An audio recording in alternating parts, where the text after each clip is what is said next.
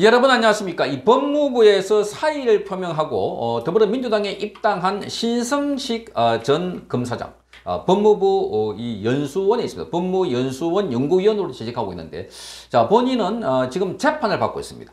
아, 그런데 에, 이 검찰에서 사표를 수리해 주지 않으니까 사표를 수리하지 아- 않으니까 아, 그런데 지금 어, 국회의원 출마를 하려고 하고 있습니다. 호남 지역에 출마를 하려고 했고 아, 지금도 어, 이 어, 출판 기념회까지 했습니다. 그런데 에, 여기에 신성식 법무연수원 연구위원은 자, 자신이 수사를 지휘했던 이재명 대표의 변호사비 대납 사건에 대해서 먼지 한 털 나오지 않았다 이렇게 말했어. 먼지 한 털 나오지 않았다.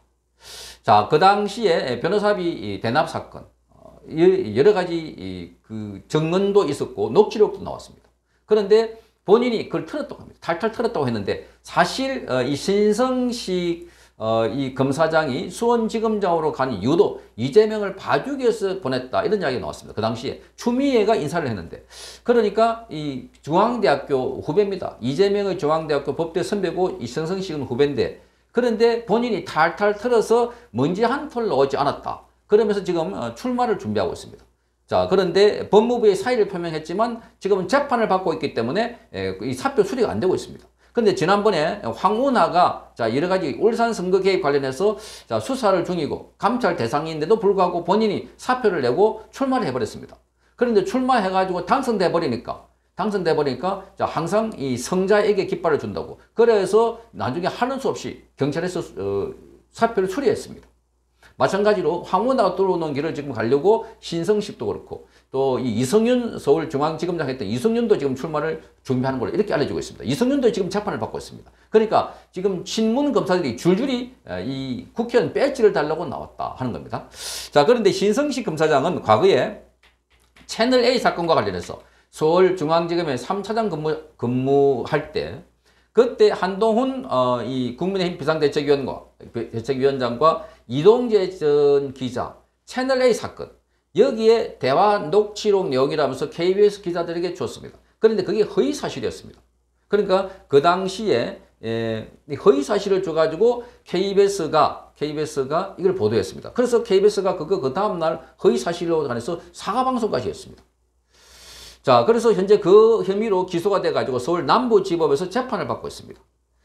자, 그래서 재판을 받고 있는 피고인 신분이어서, 자, 이것에서 신성식의 에, 사의를 수용할 수 없는 입장인데, 그런데 본인이 지금 여기 이 출마를 하려고 이재명을 탈탈 털어봤지만 먼지 한톤안 나온다. 이런 아부성 멘트를 하고 있습니다. 이게 사실 조작이 아닐까. 사실 조작이 아닐까.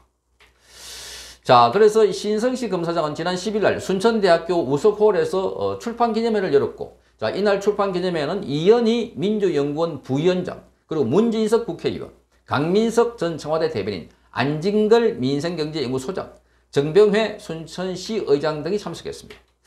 자, 그러면서 이 신성식은 이렇게 말합니다. 현 정권이 들어서면서 이재명 대표의 후배라는 이유만으로 이 언론은 나를 정치검사로 만들었다. 이렇게 말합니다. 차장 검사로 자천시켰고 한 달 후에는 법무부 연수원 연구위원으로까지 발령됐다. 그러나 그동안 부끄럽지 않게 살아왔기 때문에 좌절하지 않는다. 이렇게 말합니다. 그래서 난 원래 방골 기질이 있는 사람이기 때문에 22년 검사 생활을 끝내고 국민에게 더 가까이 가고자 첫 발을 내딛는다. 이렇게 말합니다. 자, 그러니까 지금 법무부에서 공식적으로 본인의 사표를 수리하지 않으니까 국회 출마한다 소리를 못하고 그냥 어, 지금 새 길을 간다 이렇게 말합니다. 국민에게 더 가까이 간다. 자 검사는 사유화할 수도 없고 사유화할 수도 안 된다. 좋은 검사가 나쁜 검사를 잡으러 갔다. 가짜 검사들을 진짜 검사가 잡겠다 이렇게 말하고 있습니다. 자 이거를 보면 지금 얼마나 우리 사회가 엉터리 사회인지 뒤집혀진 사회인지를 잘 알 수 있습니다. 그러니까 이재명의 후배라는 사람이 과거에 검사 사건 관련해서도 이재명과 관련해서 지금 그 어,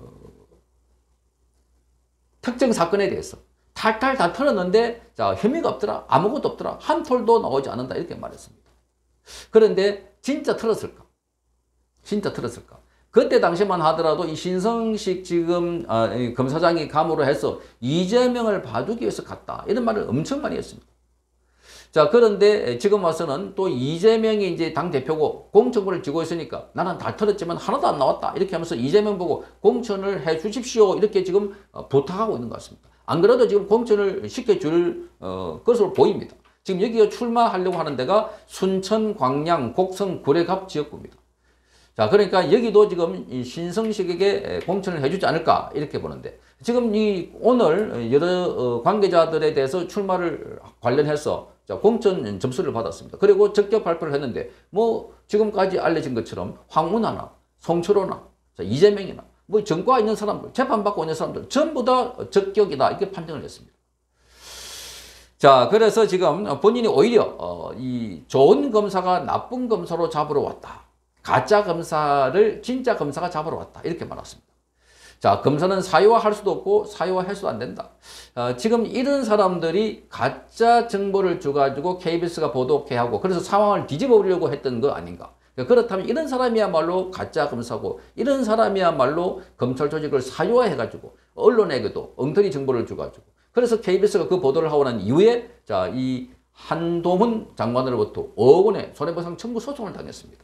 지금 여기도 마찬가지입니다. 소, 소송을 당했습니다. 그래 놔놓고 지금 본인이 좋은 검사다, 진짜 검사다 이렇게 말하고 있습니다.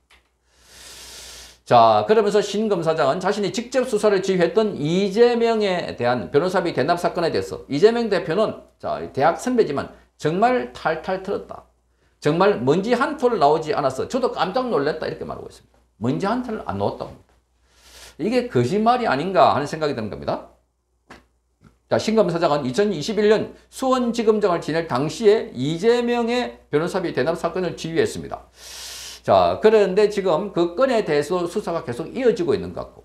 그래서 2020년 6월부터 7월 사이에 3차장 근무를 할 당시에 이때 여기 그 비대위원장 관련해서 어 지금 어 한동훈 위원장과 이동재 기자의 대화 녹취록을 가짜로 된 걸, 그걸 줘가지고 어 보도케 했다. 그것만 하더라도 얼마나 나쁜 짓일까.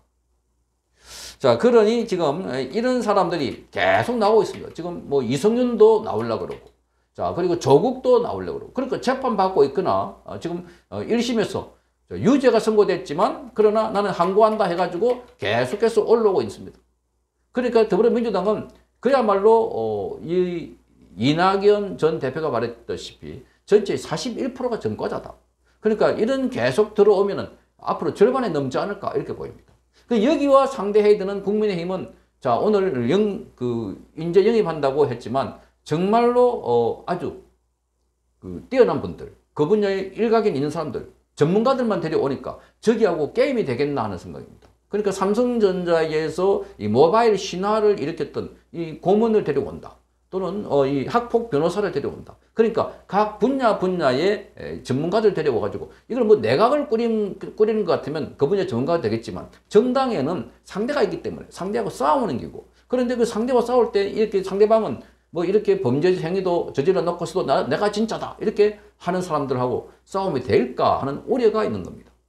자, 어쨌든 지금 더불어민주당은 당 대표부터 시작해서 정과 사범에다가 여러 가지 혐의와 관련해서 재판이 진행되고 있고 또 재판 받고 있는 사람, 수사를 받고 있는 사람 이런 사람들도 계속해서 공천을 받으려고 온다고 하니까 정말 기가 찬 노릇입니다. 여기에 싸우기 위해서는 보다 강한 전투력을 가진 국민의 힘이 필요하다. 그렇게 하기 위해서는 국민의 힘이 앞으로 공천할 때는 이런 사람들과 대응할 수 있는 싸울 수 있는 사람이 필요하지. 자, 그런데 그 분야가 아니라 각 경제 무슨 음, 교육, 사회 분야에서 전문가라고 내가 보내놨지만 지금까지 우리 국회를 봤지만 전문가들이 실제로 야당하고 싸울 때는 자, 존재감이 없다는 겁니다. 존재감이. 그래서 참 우려된다 하는 이야기가 나오고 있습니다. 거꾸로 보면 은 민주당이 너무나 무지막지한 공천을 행사하려고 했다. 특히나 이재명이 본인부터 이 범죄 혐의가 있기 때문에 그래서 밑에 있는 사람은 더 많은 범죄 의혹이 있거나 수사를 하고 받고 있거나 재판에 진행 중인 사람까지도 집어넣어 가지고 자기 정체성을 그냥 뭘 희석시키려고 하는 것 아닐까 이렇게 보입니다. 자, 국민의힘 보도 단단하게 대응을 해야 될 걸로 보입니다. 성창경 TV였습니다.